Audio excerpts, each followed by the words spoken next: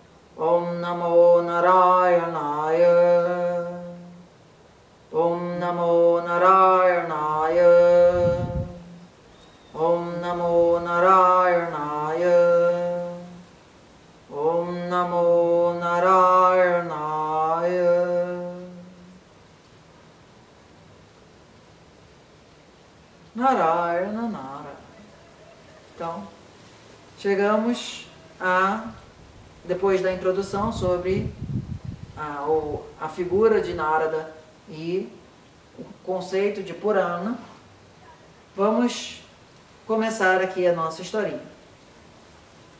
E a primeira pergunta colocada numa grande assembleia, e aí essa parte, digamos assim, mais dos nomes aqui para ali, a gente precisa só, digamos, contextualizar que era tipo final do Maracanã, final da Copa do Mundo e estava todo mundo lá no Maracanã, ok? E aí perguntam, mas qual é a melhor maneira de ter uma vida realizada enquanto ser humano? Nós sabemos que a melhor forma de fazer isso é através do. Aí vamos botar essa palavra aqui num contexto, do serviço devocional ao Senhor Vishnu.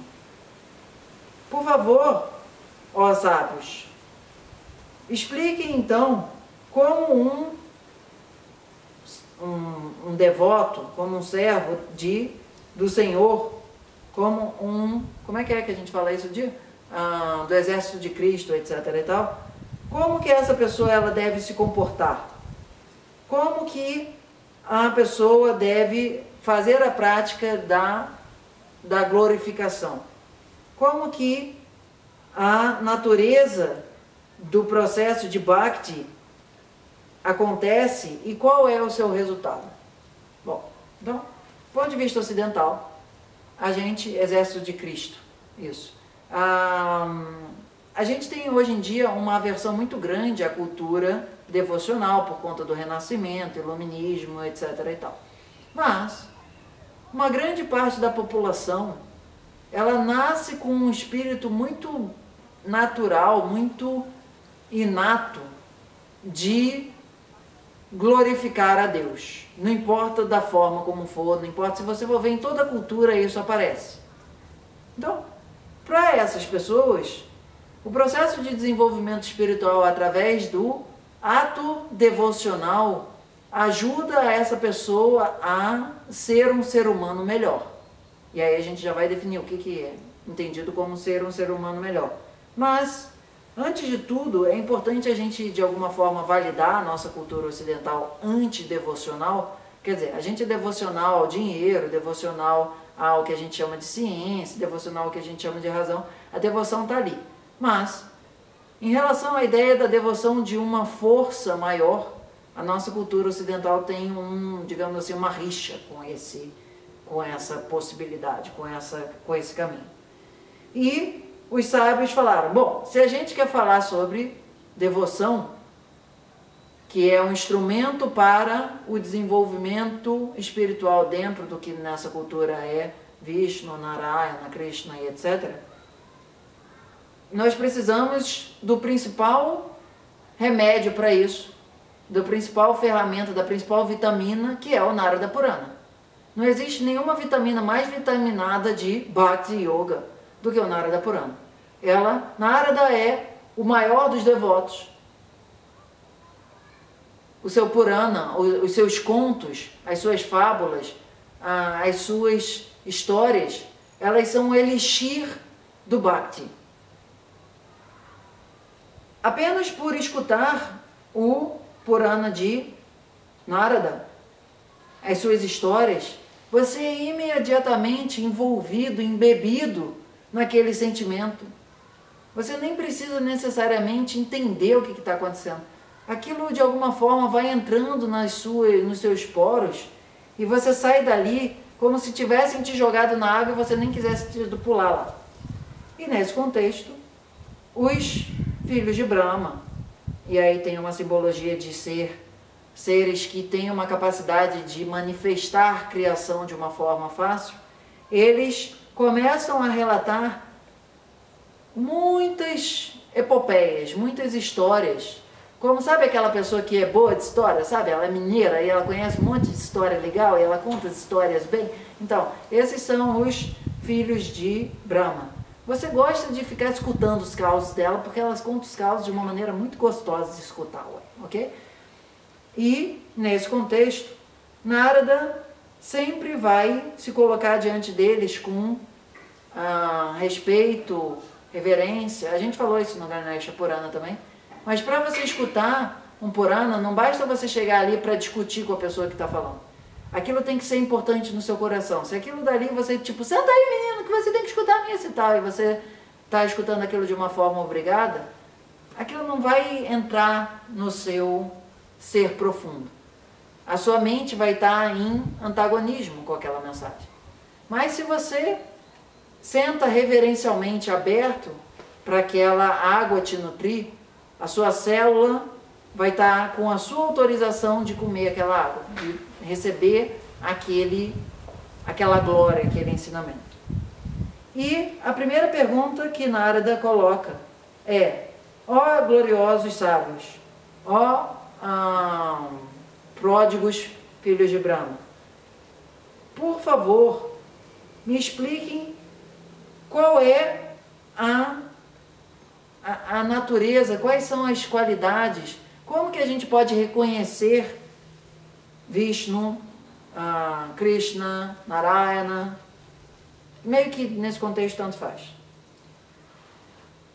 Como que é possível alcançar a vivência desse estado de glória existencial a partir do Bhakti. Porque para entender o processo do Bhakti, é preciso entender o objeto do Bhakti. É preciso ter uma visão perfeita, cristalina de Deus, para, a partir dessa experiência, poder de fato se engajar no serviço a Deus. Sem você ter, digamos assim, sem você realmente gostar de futebol, você está na final da Copa do Mundo e, tipo, está torcendo para um time ou para outro, não faz a menor diferença. Então, antes de tudo, você tem que ser um fanático por futebol para dar importância de estar na final da Copa do Mundo. Se você não conhece a, a regra do jogo, a verdadeira natureza de Deus, você não vai conseguir ser um devoto a isso.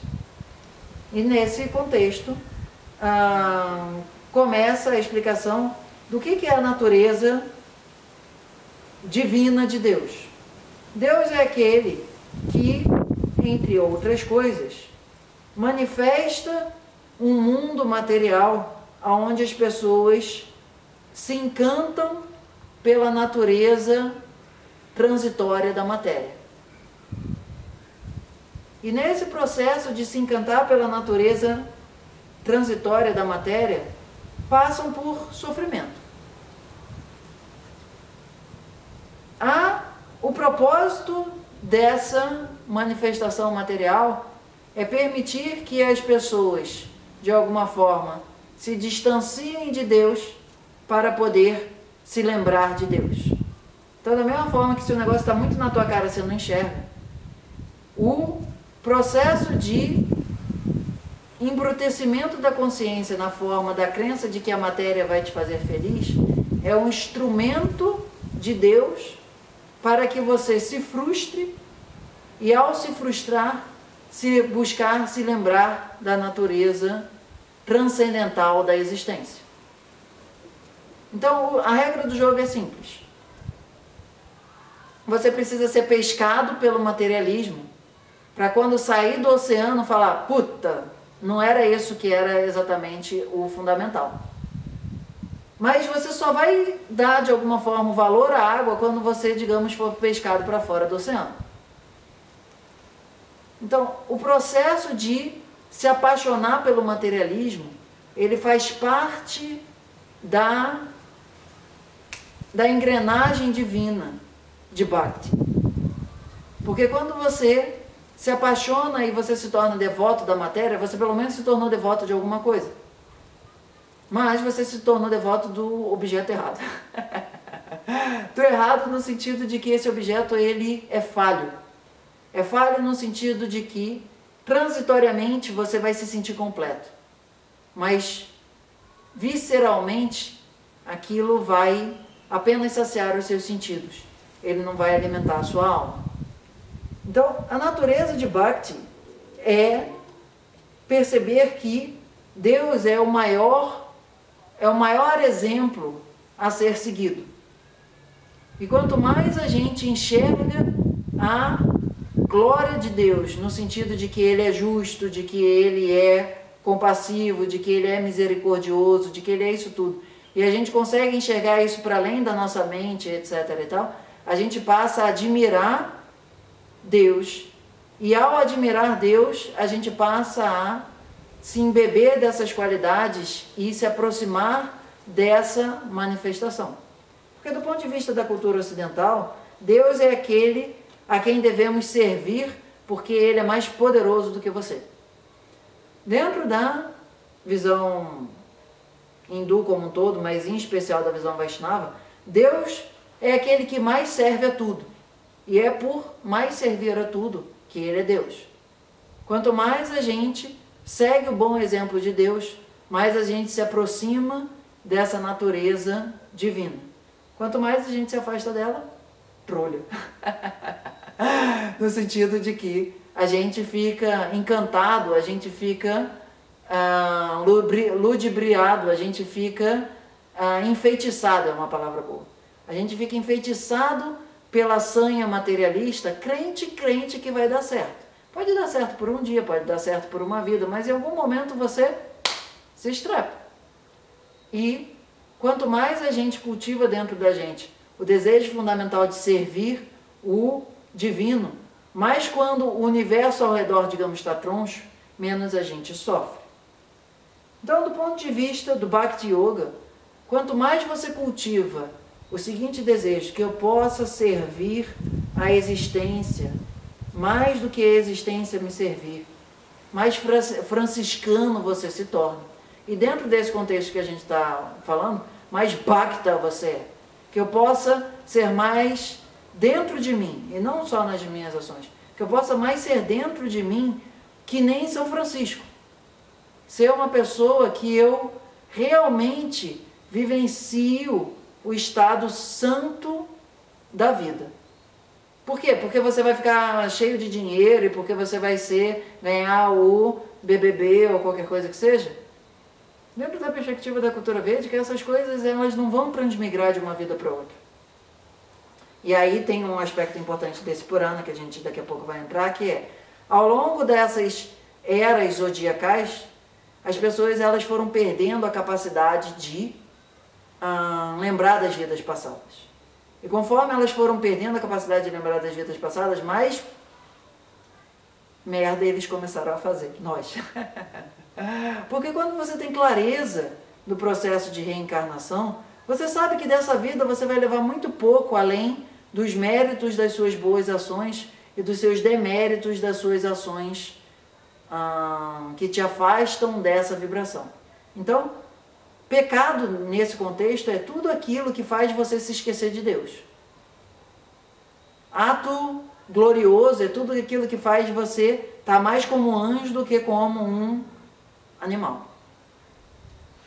A gente poderia dizer que dentro dessa cultura, grosso modo, na Satya Yuga ou na época dourada da existência humana, as pessoas tinham plena clareza do processo reencarnatório, elas acordavam nessa vida ainda se lembrando de várias vidas.